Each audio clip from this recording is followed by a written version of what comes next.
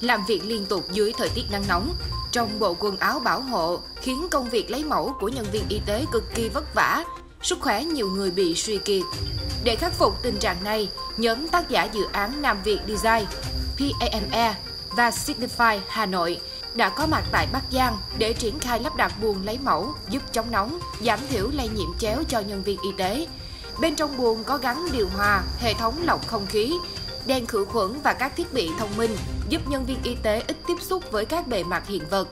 Buồng xét nghiệm chống nóng còn giúp đội ngũ y tế giảm bớt căng thẳng, mệt mỏi do thời tiết, từ đó tập trung làm việc, đẩy nhanh tiến độ lấy mẫu xét nghiệm.